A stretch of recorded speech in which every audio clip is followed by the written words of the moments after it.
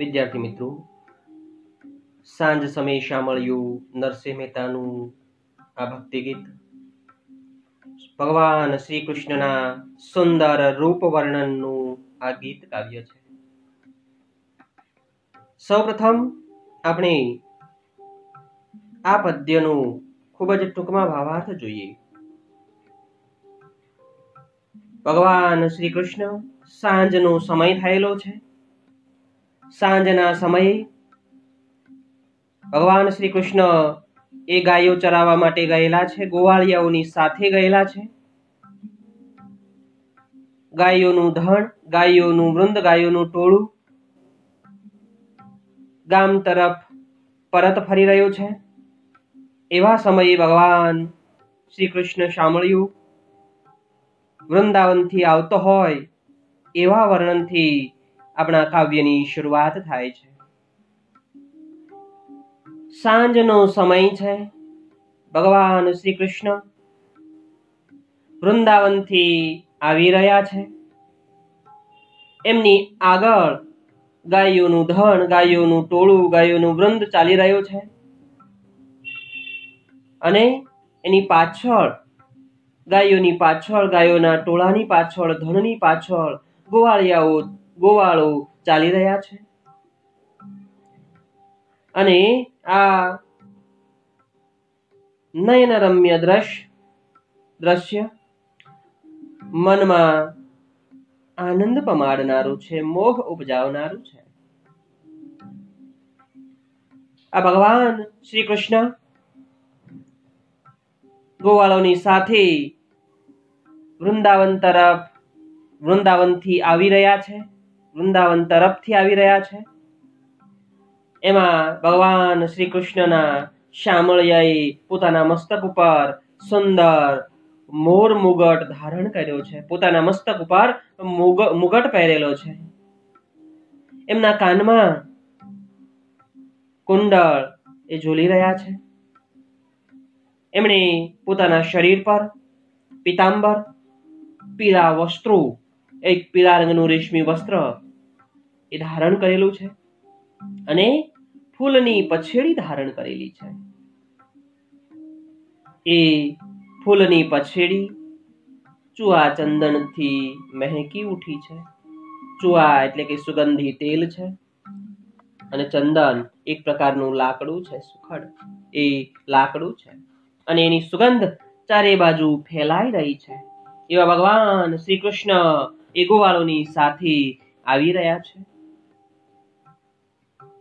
અહીંયા નરસિંહ મહેતા ઉપમા આપે છે કે જેવી રીતે આકાશમાં ચંદ્ર સોળે કળાએ ખીલેલો હોય, તારામંડળમાં શશિયર ચંદ્ર સોળે કળાએ ખીલેલો ચંદ્ર શોભી રહ્યો હોય, એમ ભગવાન શ્રી કૃષ્ણ આ ગોવાળિયાઓની વચ્ચે શોભી રહ્યા છે. ત્યારબાદ ઉપમા વાપરે છે કે જેવી રીતે સુવર્ણ, સોનાના અલંકાર, આભૂષણમાં જડેલો હીરો હોય અને એ પોતાનો પ્રકાશ ચારે બાજુ ફેલાવે, એમ આ ગોવાળોની વચ્ચે ગિરધર ભગવાન શ્રી કૃષ્ણ શામળિયો એ શોભી રહ્યા છે. આ ભગવાન શ્રી કૃષ્ણ હળધરનો વીરો છે, એટલે કે હળધર એટલે કે ભગવાન ભગવાન શ્રી કૃષ્ણના ભાઈનું નામ બલરામ છે. બલરામના ભાઈ છે અને આવા ભગવાન શ્રી કૃષ્ણનું રૂપ વાલાજીનું રૂપ મારા હૃદયમાં વસી ગયું છે અને એમને મળવાનું મારું મન થઈ રહ્યું છે. અને મારું મન ભગવાન શ્રી કૃષ્ણને મળવા માટે વેગથી એમના તરફ ગતિ કરી રહ્યું છે, દોડી રહ્યું છે અને તેવા સમયે ભગવાન શ્રી કૃષ્ણ એ મને વહાલથી ભેટ્યા અને તન મનથી એમના મુખ ઉપર હું વારી જાઉં છું. અને એટલે કે એમના ઉપર હું કુરબાન થઈ જાઉં છું. એવું ભગવાન શ્રી કૃષ્ણનું રૂપ મનમાં મોહ ઉપજાવનાર છે. આવું વહાલાજીનું રૂપ ભગવાન શ્રી કૃષ્ણનું રૂપ અતિ કલ્યાણકારી છે, શુભકારી છે. અને આવા રસિયા વગર કેમ રહી રહી શકાય? કેમ જીવાય? ભગવાન શ્રી કૃષ્ણ વગર કેમ જીવાય? ભગવાન શ્રી કૃષ્ણ વગર, શામળિયા વગર, પોતાના પ્રિય ભગવાન શ્રી કૃષ્ણ વગર પોતે જીવી શકે તેમ નથી. નરસિંહ મહેતાના સ્વામીનું રૂપ સૌંદર્ય નરસિંહ મહેતા વારંવાર નિરખી રહ્યા છે, જોઈ રહ્યા છે. અને નરસિંહ મહેતાનું રૂપ જોઈને એ મનોમન પ્રસન્નતા અનુભવી રહ્યા છે, હરખાઈ રહ્યા છે, ખૂબ જ આનંદિત થઈ રહ્યા છે. એવા ભગવાન શ્રી કૃષ્ણ શોભી રહ્યા છે. કે આગળ ગાયોનું ધણ ચાલી રહ્યું, પાછળ ગોવાળોની વચ્ચે ભગવાન શ્રી કૃષ્ણ ચાલી રહ્યા છે અને શોભાયમાન, દ્રશ્યમાન થઈ રહ્યા છે એવા ભગવાન શ્રી કૃષ્ણનું વર્ણન આ પદ્યમાં છે. હવે આપણે આ પદ્યને જોઈએ. વિદ્યાર્થી મિત્રો, હવે આપણે પદ્યની સમજૂતી મેળવવાનો પ્રયાસ કરીએ, સમજ મેળવવાનો પ્રયાસ કરીએ. સાંજ સમેશા મળ્યો વાલો વૃંદાવનથી આવે. મિત્રો, સાંજનો સમય છે. સાંજનો સમય થઈ રહ્યો છે. ભગવાન શ્રી કૃષ્ણ એ વૃંદાવનથી આવી રહ્યા છે. અને એ ભગવાન શ્રી કૃષ્ણની સાથે ગોવાળો પણ છે, ગાયોનું ધન પણ છે. આગળ ગોધન પાછળ સાજન મનમાં મોહ ઉપજાવે. કે એ ભગવાન શ્રી કૃષ્ણની આગળ ગાયોનું ધન ગાયોનું ટોળું ચાલી રહ્યું છે. પાછળ પાછળ, ગાયોની પાછળ સાજન એટલે કે ગોવાળિયાઓ ચાલી રહ્યા છે. અને આ દ્રશ્ય કે આગળ ગાયોનું ટોળું ચાલી રહ્યું છે, ગાયોનું વૃંદ ચાલી રહ્યું છે, ગોધન ચાલી રહ્યું છે, પાછળ ગોવાળિયાઓ બધા ચાલી રહ્યા છે. અને આ દ્રશ્ય નયનરમ્ય છે. અને આ નયનરમ્ય દ્રશ્ય મનમાં મોહ ઉપજાવી રહ્યું છે અને મનને પ્રસન્ન કરી રહ્યું છે અને વારંવાર ભગવાન શ્રી કૃષ્ણનું રૂપ જોવું ગમે એવું આ દ્રશ્ય છે. આ દ્રશ્યને વારંવાર નિરખવાનું મન થાય એવો મોહ ઉપજાવે એવું આ નયનરમ્ય દ્રશ્ય છે. ત્યારબાદ કવિ વાત કરે છે કે, મોર મુગટ શિર સુંદર ધરિયો કાને કુંડળ લહેકે? મોર મુગટ. એ ભગવાન શ્રી કૃષ્ણએ પોતાના મસ્તક ઉપર મોર મુગટ ધારણ કરેલો છે. અને એમના કાનમાં કુંડળ શોભી રહેલા છે, ઝૂલી રહ્યા છે. પહેર્યા પિતાંબર ફૂલની પછેડી ચુઆ ચંદન મહેકે કે એ ભગવાન શ્રી કૃષ્ણે કેવો પહેરવેશ ધારણ કરેલો છે? તો કે ભગવાન શ્રી કૃષ્ણએ પોતાના શરીર ઉપર પિતાંબર ધારણ કરેલા છે, એટલે કે પિતાંબર એટલે કે પીળા રંગનું રેશમી વસ્ત્ર ધારણ કરેલું છે. અને ફૂલની પછેડી તેમણે ધારણ કરેલી છે અને એમાંથી ચુવા એટલે કે એક પ્રકારનું સુગંધિત તેલ ચંદન મહેકી રહ્યા છે. કે ચંદનનું લાકડું કે જે શુભ કાર્યો માટે એ તિલક કરવા માટે વપરાય છે અને એમાંથી સુગંધ ચારે બાજુ ફેલાઈ રહી છે. અને ભગવાન શ્રી કૃષ્ણે પિતાંબર ધારણ કર્યા છે, ફૂલની પછેડી ધારણ કરી છે, એમાંથી સુગંધ ચારે બાજુ ફેલાઈ રહી છે. એવા ભગવાન શ્રી કૃષ્ણ શોભી રહ્યા છે. ત્યારબાદ નરસિંહ મહેતાએ ઉપમા આપી છે. તારા મંડળમાં જેમ શશિયર શોભે હેમે જડિંગ હીરો એ ભગવાન શ્રી કૃષ્ણએ કહ્યું છે કે જેવી રીતે એ ચંદ્રમાની ચાંદની ચંદ્ર સોળે કળાએ ખીલેલો હોય અને સોળે કળાએ ખીલેલો ચંદ્ર, તે ચારે બાજુ પોતાનો શીતળ પ્રકાશ પાથરી રહ્યો હોય અને આકાશમાં ખૂબ જ સુંદર પ્રતીત થતો હોય સુંદર દેખાતો હોય તેવી રીતે આ તારામંડળમાં ભગવાન શ્રી કૃષ્ણ એ ચંદ્રની જેમ શોભી રહ્યા છે અને ત્યારબાદ કવિ કહે છે કે જેવી રીતે હેમે એટલે કે સોનામાં શશિયર એટલે કે ચંદ્ર, હેમે હેમે એટલે કે સોનામાં એ જડેલું, એમાં જે આભૂષણો હોય, એ આભૂષણોમાં જે હીરો જડેલો હોય અને એ હીરો સોનાની ચારે બાજુ પ્રકાશ ફેલાવે. એ પ્રમાણે ભગવાન શ્રી કૃષ્ણ પોતાનો પ્રકાશ એ ચારે બાજુ ફેલાવી રહ્યા છે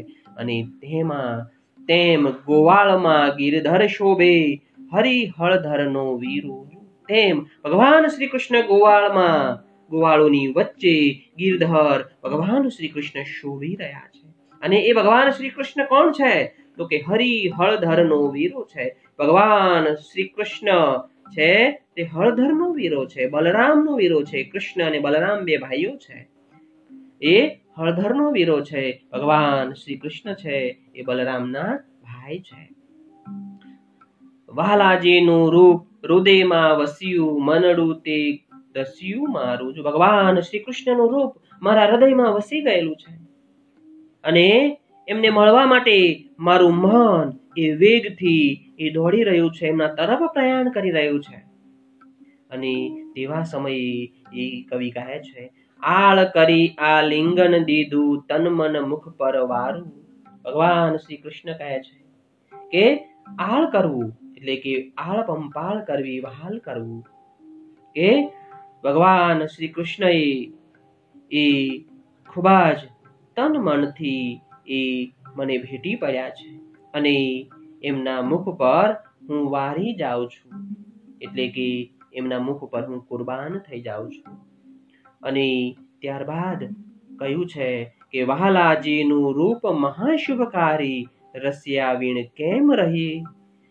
નરસૈયાચા સ્વામીની શોભા નિરખી નિરખી હરખી. વાલાજીનું રૂપ ખૂબ કલ્યાણકારી છે. ખૂબ શુભકારી છે, મંગલમય છે. આવા રસિયા વગર, ભગવાન શ્રી કૃષ્ણ વગર કેમ જીવાય? જીવી શકાય નહીં. એટલે ભગવાન શ્રી કૃષ્ણનું રૂપ મંગલકારી છે. એમના અવારનવાર દર્શન આપણે કરવા જોઈએ. અને આવા ભગવાન શ્રી કૃષ્ણના સ્વામીનું રૂપ સૌંદર્ય, એમની શોભા, એ વારંવાર નિરખતા, એમનું વારંવાર દર્શન કરતા, એ હંમેશા આનંદની લાગણી અનુભવાય છે. એમ અહીંયા પદ્ય અંતર્ગત કહ્યું છે. તો વિદ્યાર્થી મિત્રો, એ ભગવાન શ્રી કૃષ્ણની અને બલરામની વાત છે. તો મને એક વાત યાદ આવે છે. કે ભગવાન શ્રી કૃષ્ણ અને બલરામ, એ બંનેનું એક આખ્યાન છે. ભગવાન શ્રી કૃષ્ણ અને બલરામ જે છે, એનું એક આખ્યાન છે. એની હું તમને ખૂબ જ ટૂંકમાં વાત કરું છું. એક રામદેવ પીરનું આખ્યાન એવું એક આખ્યાન આવે છે. એના અંદરની માહિતી મુજબ, રાજસ્થાનની અંદર રણુજા, એ રણુજાની અંદર રાજા અજમલ રાજ કરી રહ્યા છે. રાજા અજમલને લાશા, લક્ષ્મી અને સગુણા એવી ત્રણ ત્રણ દીકરીઓ છે. ત્રણ દીક, ત્રણ ત્રણ દીકરીઓ હોવા છતાં, એમના રાજ્યની પ્રજા એમનું મુખ જોવા ઈચ્છતી નથી કારણ કે એમની રાજગાદી સંભાળે એવો પુત્ર એમને ત્યાં નથી. એટલે એમની પ્રજા એમનું મુખ જોવા માટે તૈયાર નથી. એમના શુકન લેવા માટે તૈયાર નથી. માટે એ રાજાને ખબર પડે છે. તેવા સમયે રાજા એ રાજનો ત્યાગ કરીને વનમાં તપ કરવા માટે જાય છે. ત્યાં ભગવાન શંકરનું તપ કરે છે અને એમને એ એ તપ કરીને ભગવાન શંકરને પ્રસન્ન કરે છે અને ભગવાન શંકર તેમને કહે છે કે અહીંયાથી તું દ્વારકા જા, ભગવાન શ્રી કૃષ્ણ પાસે જા. અને એ દ્વારકાનો નાથ ભગવાન શ્રી કૃષ્ણ તારું દુઃખ ભાંગશે, તારા દુઃખ હરશે. એમ કરીને તે ભગવાન શ્રી કૃષ્ણ એ ભોળાનાથી ભગવાન શંકરે એ રાજા અજમલને સૂચન કર્યું. રાજા અજમલ પોતાના દરબારમાં આવે છે અને એ થાળ લઈને દ્વારિકા જાય છે ને ભગવાન શ્રી કૃષ્ણની થાળ ધરે છે. તેવા સમયે ભગવાન શ્રી કૃષ્ણની થાળ ધર્યા બાદ ભગવાન શ્રી કૃષ્ણ ને એ વિનંતી કરે છે. ને ભગવાન શ્રી કૃષ્ણ બધું જાણી ગયેલા હોય છે. અને તે ભગવાન શ્રી કૃષ્ણ એમને અમર ડાળીનું પુષ્પ આપે છે. અને એ ભગવાન શ્રી કૃષ્ણ જ એમને જણાવે છે કે અમે બંને ભાઈઓ તમારા ઘરે અવતાર ધારણ કરીશું અને ચોક્કસ એમણે સમય અને તિથિ પણ આપ્યા. અને એ તિથિ પ્રમાણે સમય પ્રમાણે એ એમના ઘરે રાજા અજમલના ઘરે એ અવતાર ધારણ કરે છે. એમના ઘરે અવતાર ધારણ કરે છે અને અવતાર ધારણ કર્યા બાદ એ ભગવાન શ્રી કૃષ્ણ એ રામદેવના નામથી ઓળખાય છે અને બલરામ છે એ વિરમદેવના નામથી ઓળખાય છે અને એમની માતા મિનળ દેવ છે. સમય પસાર થાય છે, તેવા સમયે કહેવાય છે કે પોખરણગઢની આજુબાજુ એ ગાઢ જંગલ છે. એમાં ભેરભા નામના રાક્ષસનો ખૂબ ભય છે, ખૂબ જ ત્રાસ છે. એ ભેરબા નામનો રાક્ષસ આજુબાજુના લોકોને રહેવા દેતો નથી. બાર બાર ગાવ સુધી એક ગાવ એટલે ત્રણ કિલોમીટર અને છત્રીસ કિલોમીટર સુધી પશુ કે પક્ષી રહેવા દેતો નથી, એટલો ત્રાસ એ બહેરબા નામના રાક્ષસનો છે. જે કોઈ, જે કોઈને જુએ, એમને તરત જ મારી નાખે અને એમનો સંહાર કરે, એમને ખાય. એવો ત્રાસ આ ભેરબા નામના રાક્ષસનો છે. આ ભગવાન શ્રી કૃષ્ણનું બીજું રૂપ, રામદેવ, એ ભેરબા નામના રાક્ષસનો એ સંહાર કરે છે. અને એ ભેરબા નામના રાક્ષસનો સંહાર કરીને એ ત્યાં ધર્મની સ્થાપના કરે છે અને આજે જે સ્થાન રાજસ્થાનની અંદર જે રણુજા કહેવાય છે કે જે રામદેવ પીરનું સ્થાનક છે, ત્યાં લોકો ઘણી બધી ભક્તિભાવથી, ઘણી બધી શ્રદ્ધાથી મસ્તક પણ ટેકવી રહ્યા છે, નમાવી રહ્યા છે. એમ ભગવાન શ્રી કૃષ્ણ અને બલરામનું બીજો અવતાર એ રામદેવ અને વિરમદેવ છે. એ આ આખ્યાન ઉપરથી આપણને ખબર પડે છે માહિતી મળે છે. ત્યારબાદ વિદ્યાર્થી મિત્રો આપણે